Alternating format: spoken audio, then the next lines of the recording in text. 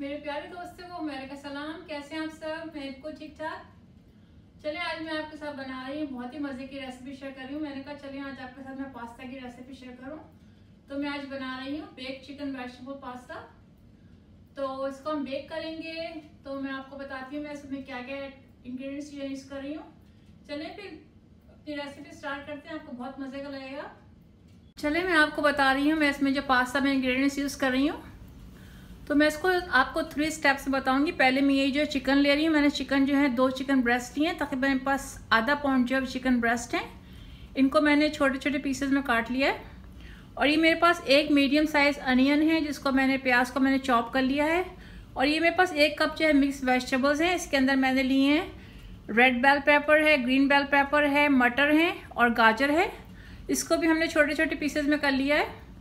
और मैंने इसमें जो है दो क्लोव्स जो हैं वो गार्लिक के लिए हैं।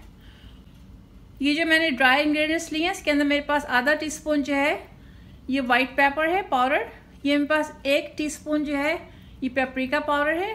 और ये पास एक ही टीस्पून जो है वो सॉल्ट है। सॉल्ट आपके ऊपर है, अगर आप कम डालें तो आपकी मर्ज़ी है, क्योंकि चीज़ में सॉल्ट ऑलरेडी बहुत काफ़ी होता है तो मैं इसलिए कम डाल रही हूँ। और ये बस एक टीस्पून जो है, ये मेरे पास क्यूबन पाउडर है। क्यूबन पाउडर जो हमारे पास एक टीस्पून है। अच्छा ये मेरे पास जो है एक टेबल स्पून जो है ये मेरे पास टोमेटो प्योर है। और ये मैं से वेजिटेबल अर्ब्स डाल रही हूँ, मेरे पास ऑरेगनो है। इसको मैं चॉप करके डालूँगी। और ये मेरे पास बेजल हैं बेजल के लीव्स जो हैं। ये मैंने टाइम लिया, लेकिन मैं इसको डालूँगी नहीं, मैंने डेकोरेशन के लिया है। चलें फिर पहला जो स्टेप है, मैं हम शुरू करते हैं इसको। ये हमारा पैन जो है गर्म हो रहा है। तो मैं इसमें तकरीबन दो टेबल स्पून जो है मैं ऑलिव ऑयल डालूँगी इसमें। ये हमारा ऑलिव ऑयल जो है ये गर्म हो गया। मैं इसमें अपना गार्लिक डाल रही हूँ। ये थोड़ा सा फ्राई होगा, फिर इसमें अपनी हमें चिकन डाल देंगे। ये हमारा थोड़ा गार्लिक चला गया। अब मैं इसमें प्याज डाल रही हूँ अपनी। इसको हमको जो है सॉफ्ट करना है प्याज को। मैंने छोटे पीसेस में चॉप कर लिए। दो से तीन से मिनट तक मैंने इसको फ्राई कर लिया है। देखिए सॉफ्ट हो गई है। अब इसमें हम चिकन डाल देंगे अपनी। चिकन क्यूब्स जो है। चिकन को मैंने छोटे पीसेस में कर लिया था। अब चिकन को हमें दो तीन मिनट तक फ्राई करना है जब तक ये वाइट नहीं हो जाए। ये देखें चिकन वाइट हो गई है, लेकिन थोड़ा सा इसके अंदर पानी है। तो ये हमें ये तीन से चार मिनट इसको लगे हैं तो मैं इसमें अब जो बाकी अपने स्पाइसेस हैं ड्राई मैं डाल रही हूँ, लेकिन मैं आपको बताना भूल गई थी, मैंने इसमें टीस्पून आटा भी डाला है। तो ये जो है, आप ऑल पर्पज़ फ्लावर या कोई सा भी ले लीजिएगा। तो ये इसमें हम डाल दिया, और हमने इसमें ये अपना टोमेटो प्योरी जो ये डाल दी, एक टेबल स्पून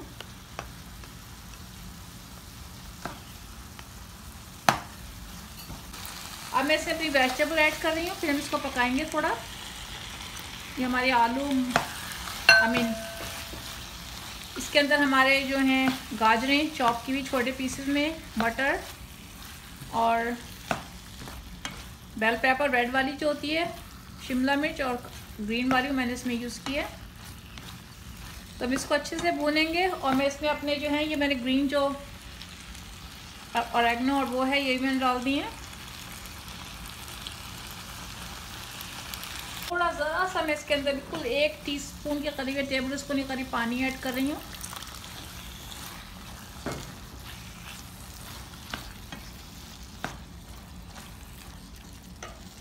थोड़ा चले मैंने इसको पाँच मिनट तक पकाया है। और ये जो हैं वेजिटेबल सॉफ्ट हो गई हैं। तो अब इसको मैं हटा के अपना सॉस तैयार करूँगी। चलें, बिल्कुल रेडी है। मैंने फाइव टेबल स्पून जो है बटर लिया है।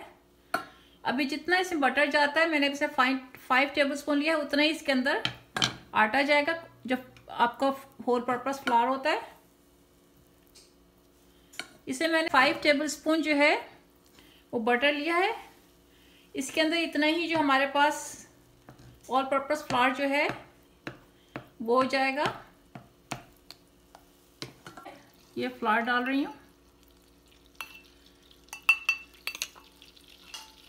इसमें दूध जो है, मैंने आधा लीटर लिया है।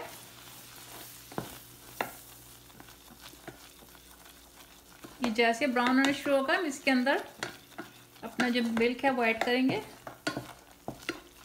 थोड़ा सा हमें इसको दो तीन मिनट तक ब्राउन करना है। चलिए, इसको थोड़ा हमें और अभी भूनना है। अब जो है, मैं इसमें दूध जो है थोड़ा थोड़ा डालूँगी। पहले हम थोड़ा दूध डालेंगे। ये देखिए फ़ौरन इसने दूध पी लिया। थोड़ा सा और डालेंगे।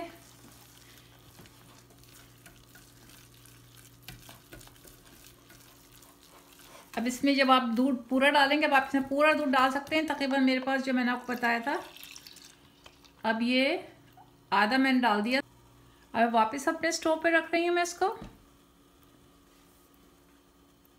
देखिए, हमारा जो वाइट सॉस है बैचामल सॉस ये ऑलमोस्ट रेडी है। अब मैं इसके अंदर जो है अपना नटमिक पाउडर जायफल जो है मैं उसका पाउडर डाल रही हूँ थोड़ा सा आधा टीस्पून के करीब। इसका बहुत अच्छा टेस्ट आता है। आप चाहें तो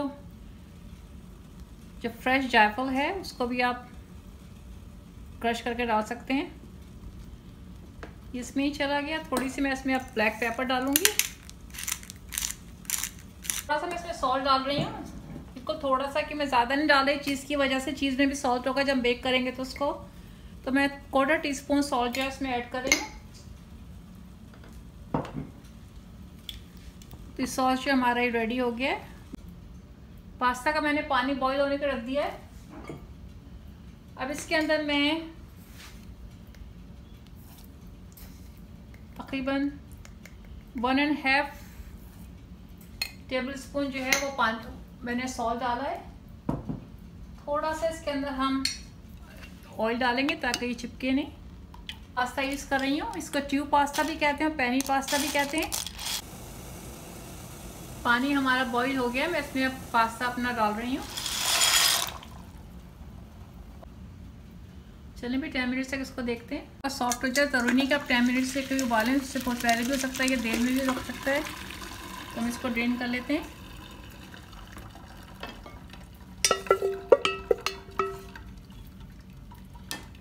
हमारा पास्ता रेडी अपना नेक्स्ट प्रोसेस स्टार्ट करते हैं. है ये हमारा जो चिकन वेजिटेबल बना हुआ है ऑलरेडी हम इसके अंदर मिक्स कर देंगे. हम इसको अच्छे से मिक्स करेंगे, पहले. स्मेल तो इतनी प्यारी आ रही है, मैं आपको क्या बताऊँ. आप चाहें तो इसकी जगह कोई सा भी पास्ता यूज़ कर सकते हैं. प्रोसेस सेम रख के सेम जो उसका प्रोसीजर होगा सेम होगा, लेकिन हमारा जो है, ये अब सब रेडी है। हम इसके, मैंने ये जो है, ये नाइन बाय सेवन की डिश है थ्री इंच इसकी हाइट है। अब मैं इसमें पहले ये डाल रही हूँ अपना पास्ता बॉटम में।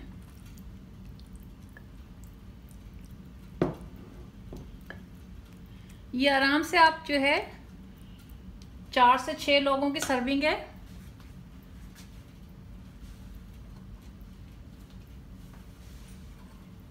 इसके ऊपर जो है अपना ये जो सॉस जो हमने बनाया था वाइट सॉस बैचामल सॉस जो है, इसको हम पोर कर देंगे।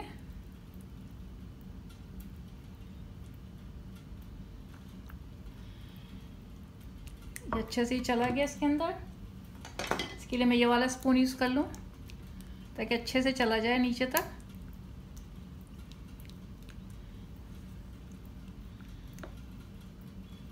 मैंने दो टू डिफरेंट काइंड का चीज़ लिया है। ये मेरे पास मोजरेला है।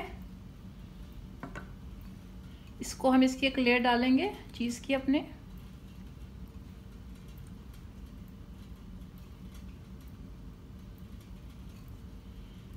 बहुत ही मज़े का बनता है बनाइएगा ज़रूर। ये है। और दूसरा मैंने जो है ये मेल्टिंग चीज़ लिया है मैक्सिकन मेल्टिंग चीज़ है ये। ये भी चरच इसकी मजराला की तरह होता है। तो अब जब जो है, हम दूसरी लेयर इसकी डालेंगे दोबारा। जो बचा हुआ हमारा ये सॉस है। आई मीन चिकन जो है।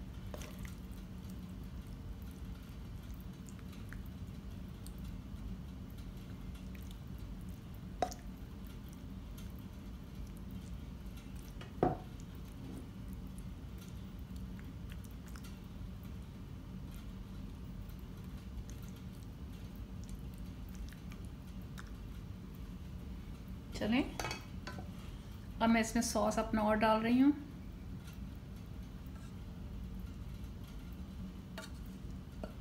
सॉस हमारा तकरीबन सारा ही चला जाएगा।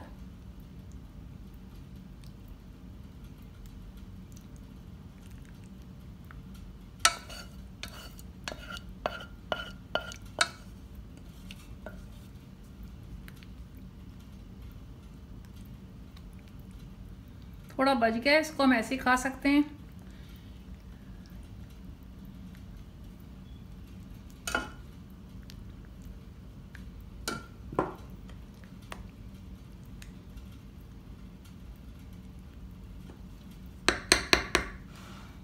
देखिए, हमारा जो है सॉस अच्छी तरह से मैं चाह मैं चाह रही हूँ सॉस हमारा अच्छी तरह से अंदर तक चला जाए।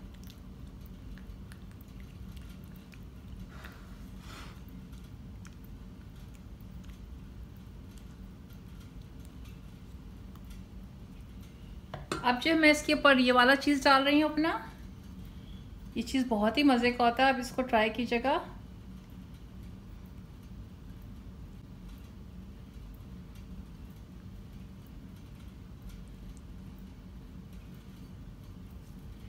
थोड़े से पीसेस ये भी डाल देती हूँ।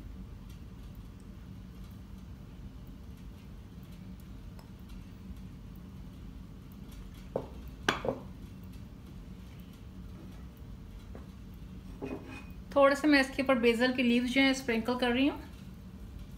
ये हमारे बेज़ल के लीव्स है। फ्रेश बेज़ल जो है, तुख मलंगा जिसको आप कह सकते हैं।